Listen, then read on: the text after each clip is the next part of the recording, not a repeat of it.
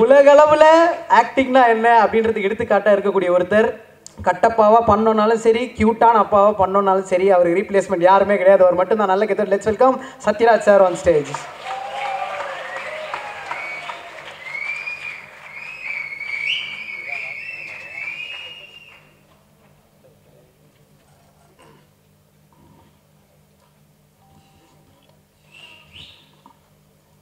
அனைவருக்கும் வணக்கம்.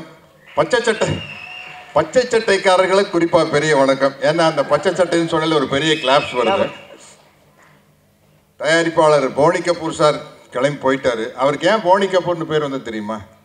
அவர் இருக்கிற ப- அவர் எடுக்கிற படம் நல்லா போனி ஆகுது.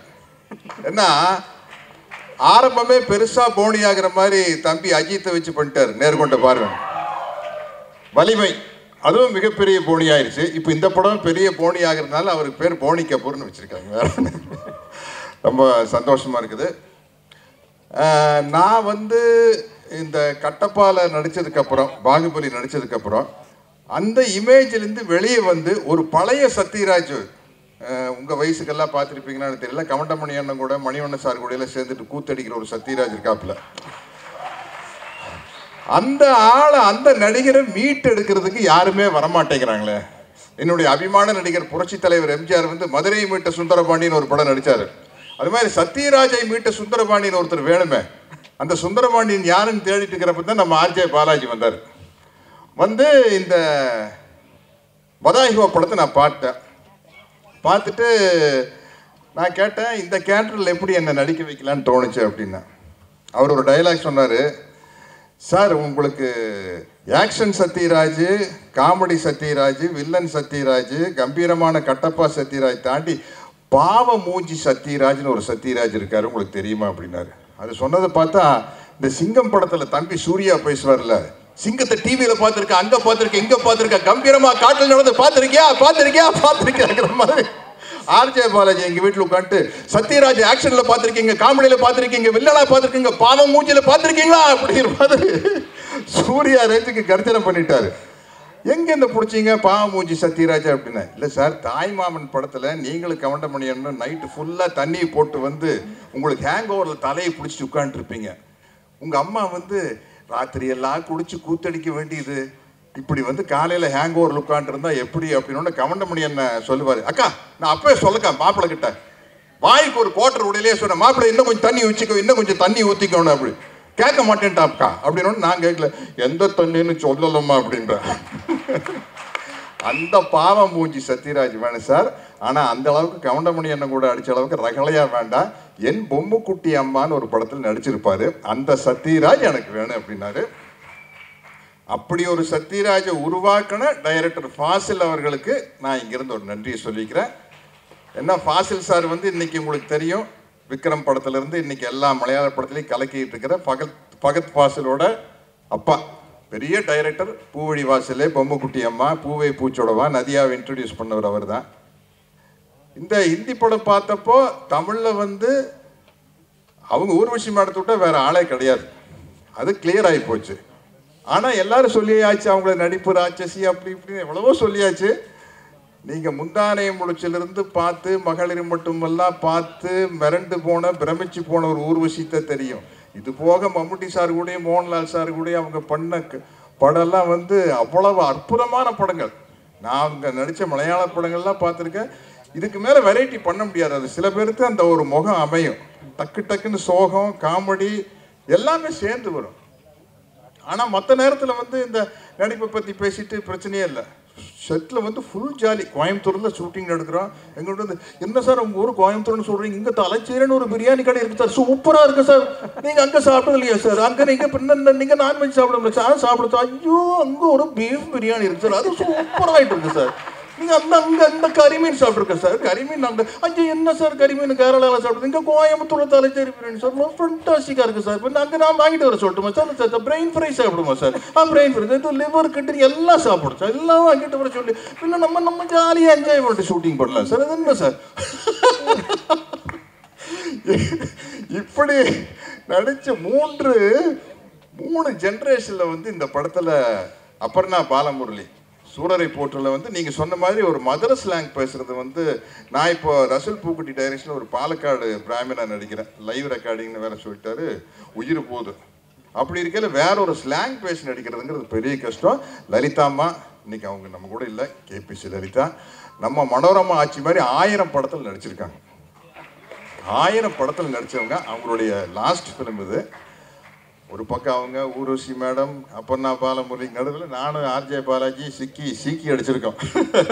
ஏன்னா அவ்வளோ பிரமாதமான ஆர்டிஸ்ட்டு நான் பாலாஜி இது வந்து ஃபஸ்ட்டு வந்து பாலாஜியோடைய பெருந்தன்மையை நான் பாராட்டுறேன். அதுக்கு ஒரு நன்றி சொல்லிக்கிறேன். பொதுவாக வந்து ஒரு டைரக்டர் வந்து ஒரு ஆர்டிஸ்ட் ஒரு படத்தை கேட்டு மேம் ஏதோ காரணத்தினால் நடிக்க முடியலன்னா இந்த ஈகோ ஹர்ட் ஆகிட்டு மறுபடியும் நம்மளை கூப்பிடவே மாட்டாங்க. ஆனால் பாலாஜி வந்து என்ன எல்கேஜி படத்துக்காக கேட்டார். நான் சொன்னேன் பாலாஜி எனக்கு இந்த கேரக்டர் கொஞ்சம் பிடிக்கல பாலாஜி விட்டுருங்கன்னு சொன்னேன் விட்டார். ஆனால் இந்த படத்தில் மறுபடியும் வந்து கேட்டார். அது வந்து டைரக்டர் சங்கர் சாருக்கு அப்புறம் உங்கள்கிட்ட தான் அந்த பெருந்தன்மையை பார்த்துக்கிறேன். நான் அவ்வளோ பெரிய டைரக்டர் சங்கர் கேட்டு ஒரு படத்தில் நடிக்கலை பட் அதனால் அவர் கோச்சிக்கல மறுபடியும் நண்பன் படத்தில் வந்து எனக்கு ஒரு பிரமாதமான கேரக்டர் கொடுத்தாரு. அது மாதிரி வந்து ஏன்னா சில பேர் பொதுவாக ஒரு படைப்பாளிகளுக்கு அந்த கோபம் வரும். என்ன நம்ம கேட்டு நடிக்காம விட்டோமா அப்படின்ட்டு. ஆனால் இந்த பாலாஜிங்கிற குதிரைக்கு ஒரு கடிவாளம் வந்து நம்ம சரவணன் தான் டைரக்டர் சரவணன் தான். ஏன்னா இவர் டைரக்ட் பண்ணிலேயே வந்து பயங்கர அழுகிற சீன் ஊர்வசி மேடங்கிட்ட சொன்ன அந்த குழந்தை எடுத்துட்டு குழந்தை பிறந்தோன்னு எடுத்துட்டு நான் ஸ்டார்ட் கேமரா ஆக்ஷன் அழுங்க சார் அழுங்க சார் ஐயோ பத்தில் சார் இன்னும் கொஞ்சம் அழுங்க சார். இன்னும் கொஞ்சம் அழுங்க சார். அழுங்க. ஐயோ ரொம்ப அழுகுறீங்க சார். கொஞ்சம் குறைஞ்சுங்க சார். இதுக்கு மேலே அழுக வேண்டாம் சார். கட்டு சார் நல்லா வந்துருச்சு சார். விட்டுருங்க சார். இப்படி ஒருத்தர் டைரக்ட் பண்ண இப்படி ஸ்டார்ட் கேமரா ஆக்ஷன் கட்னா நல்லா இருக்கு. இப்படியெல்லாம் டைரக்ட் பண்ணுறாரு அது மாதிரி வந்து அவருக்கு ஒரு பெரிய ஃபியூச்சர் இருக்குது ஏன்னா வந்து நிறையா பேர் பேசுகிற மாதிரி அவருக்கு வந்து ஆடியன்ஸுடைய பல்ஸ் ஃபிங்கர் டிப்ஸில் வச்சுக்கிறாரு. இந்த படத்தினுடைய கேமராமேன் எடிட்டர் எல்லாருமே பெரிய யூத் கேங்கு ஊர்வசி மேடத்தினுடைய அந்த மெமரி பவரை சொல்லணும். நான் இந்த அந்த தா பாப்பா பாட்டு நான் அந்த பாட்டை பார்த்தப்போ அடடா இப்படி ஒரு லைனா அடடா இப்படி ஒரு லிரிக்ஸா இது யாரையே எழுத முடியும்? பா விஜயனால் தான் எழுத முடியும். எழுத முடியும். இப்போ திருப்பி பேசுறேன்னா பூரா மறந்துட்டேன். ஆனால் அவங்க நீங்கள் என்னைக்கோ எழுதின ஒரு பாட்டை மைண்டில் வச்சுட்டு அப்படியே சொல்கிறாங்க பாருங்கள் இப்போ அதுதான் வந்து ஒரு ஆர்டிஸ்டுடைய மெமரி பவர் அவங்க சொன்ன மாதிரி அடுத்தவங்களுடைய ரியாக்ஷன் எல்லாம் சேர்த்து கரைச்சி கொடுத்துருப்பாங்க ஊர்வசி மேடம். அப்படி அவங்க அவங்க வந்து இந்தியன் சினிமாவுக்கு கிடைச்ச ஒரு பெரிய கிஃப்ட் உண்மையாக தான் இவ்வளவு வெரைட்டி வந்து அவ்வளோ சீக்கிரம் ஒரு எக்ஸ்பிரஷன் வராது. இப்படி ஒரு பிரமாதமான டீம் நம்ம ஐஸ்வரி கணேசன் சார் அவருக்கு வந்து அவங்க அப்பா கூட நான் ஒரு பிளாக் அண்ட் ஒயிட் படத்தில் நடிச்சுக்கிறேன் காதலித்து பாருன்னு ஒரு படம். ஐஸ்வரி வேலன் சார் கூட நான் நடிச்சுக்கிறேன். நான் ஒரு ரெண்டு பிளாக் அண்ட் ஒயிட் படம் நடித்தேன் அதில் அப்பா கூட நடித்த ஒரு படம். அப்படி ஒருத்தருடைய சப்போர்ட்டில் இந்த படம் வருது. என்னுடைய என்னுடைய dear friends was sir Sundar C Ravikumar sir எல்லாம் பாராட்டிட்டு நல்ல வேலை அனுப்பிச்சிட்டிங்க. இல்லை நான் அவங்கள பற்றி பேசி அதுக்கே பெரிய டைம் ஆயிருக்கும். வைக்கலாம் சார் அதை. பெருசாகி ஃபங்க்ஷன் பெருசாயிரும். ஸோ இப்படி ஒரு இந்த படம் வந்து நான் சுயநலமா இந்த படம் வந்து சூப்பர் ஹிட் ஆகணும்னு வாழ்த்துறேன். டெஃபினட்டா சூப்பர் ஹிட் ஆகும். அப்பதான் அந்த அந்த அந்த நல்ல அப்பாவா இருக்கிற சத்யராஜ் கொஞ்சம் வெளியே வர முடியும். இல்லாட்டி இந்த நல்ல அப்பாவை நடிக்கிற மாதிரி போரான விஷயம் எதுவுமே இல்லை. ஒரு நல்ல அப்பா என்ன செய்ய முடியும்? வெளியே வரணும். ஏன்னா வந்து இன்னொரு சத்யராஜ் இருக்கிறாப்புல அதிபயங்கரமான வில்லன் சத்யராஜ். அவர் நல்ல ஒரு சூப்பர் வில்லன் கேரக்டர் கொடுத்தா ந- க- வந்தா நடிக்கிறதுக்கு தயாரா இருக்கிறோம். அப்படி ஒரு அப்படி ஒரு வில்லன் வரல. வில்லன் கேரக்டர் வரல. வந்தா நடிச்சிருவோம். அதனால இந்த படம் வந்து எல்லா வகையிலையும் சூப்பர் ஹிட் ஆகணும் அப்படின்னு ஆசைப்படுறேன். வாழ்த்துறேன். அதே மாதிரி ப்ரொடியூசர் ராகுல் நம்ம விக்கி ப்ரொடக்ஷன் மேனேஜர் அவரை பற்றி சொல்லணும். என்ன சொன்னாலும் டக்கு டக்கு டக்குன்னு உடனே வந்து அவ்வளோ ஒரு ஒரு படம் ஸ்மூத்தாக நடக்கணும்னா நம்ம ஸ்டேஜில் மறந்துடுவோம். ப்ரொடக்ஷன் பார்த்துக்கிறவங்க வந்து ரொம்ப முக்கியம். அது வந்து ரொம்ப கம்ஃபர்டபுளாக அவங்க தான் வந்து எல்லாத்தையும் வந்து கோஆர்டினேட் பண்ணுறது அது மாதிரி இந்த எல்லாத்த பற்றி பேசிட்டேன்ல? போதும். Okay okay thank you thank you thank you very much நான் இந்த இந்த படம் கண்டிப்பாக பெரிய ஹிட் ஆகும். வாழ்த்துறேன் நன்றி வணக்கம். Sir thank you so much sir ரொம்ப ரொம்ப நன்றி. இன்னொரு வாட்டி ஒரு வாட்டி நல்லா கை தட்டிடலாம். அதான் அவ்வளோதான் முடிஞ்சு போச்சு. அதுக்கப்புறம் நான் பேசினா இதோட முடிஞ்சிடும் பட் ஆனால் uh, ஊர்வசி மேம் வந்து உரிமையாக எனக்கு அம்மா மாதிரி அப்படின்னு சொல்லிட்டு நான் அந்த அளவுக்கு பழக்கம் இருக்குது பட் ஆனால் தூரக்கேந்து ஒரு பிம்பமாக பார்த்த ஒரு மனிதரை ஒரு நாற்பது நாள் ஒரு டைரக்டராக எங்களால் வந்து ரெண்டு பேராலையும் இயக்க முடிஞ்சது. அதுவும் வந்து இந்தியா சினிமாவோட இந்தியன் சினிமாவோட ஒரு லெஜண்ட் நீங்கள் பட் ஆனால் ஒரு குழந்தை மாதிரி தான் எங்ககிட்ட வந்தார். என்றைக்குமே வந்து நம்ம சொன்னதை தாண்டி வேறு எதுவுமே பண்ண மாட்டார். காலையில் ஏழு மணினா ஆறரை மணிக்கு இருப்பார். அண்ட் சாயங்காலம் சிக்ஸ் தேர்ட்டிக்கு அண்ட் இன்றைக்கும் ஆடியோ லான்ச்சில் என்ன பண்ணணுன்றதுக்கு அஞ்சு வாட்டி காலையிலேருந்து ஃபோன் பண்ணிட்டார். ஒரு பாயிண்டில் வந்து சார் எதுவும் பண்ண வேணாம் சார். பேசினா போதும். அப்படின்னு சொன்னால் கூட திருப்பி வந்து பாலாஜி பேசுறதுன்னு சொன்னீங்களே அப்படின்னு அதில் ஒரு ரெண்டு ரவுட் கேட்பார். அவ்வளோ ஆர்வமாக அண்ட் எங்களுக்கு அவ்வளோ விஷயம் சொல்லி கொடுத்துருக்கீங்க. சினிமாவை பற்றியும் சரி லைஃப் பற்றியும் சரி உங்கள் கூட இருந்த ப்ரெசன்ஸ் அண்ட் கடைசியில் டப்பிங் பண்ணிட்டு என்னோட கெரியரில் முக்கியமான படத்தில் இதுவும் ஒன்றா இருக்கும் அப்படின்னு அவர் சொன்னது தான் நாங்கள் நல்ல வேலை பண்ணியிருக்கிறதுக்கான சர்டிஃபிகேட்டாக எடுத்துக்கிறோம். Thank you sir it's an honour to work with you thank you so much and நீங்கள் எதிர்பார்த்த மாதிரி இந்த எப்போ பாரு ஊர் பெரியவராக நடிக்கிற சத்யராஜா பழையபடி எல்லாம் பண்ணுற சத்யராஜா இந்த படம் மாற்றிச்சுன்னா வில் பி வெரி ஹாப்பி சத்யராஜை மீட்ட சுந்தரபாண்டியன் இவர் தான் சூப்பர் நன்றி sir thank you thank you so much sir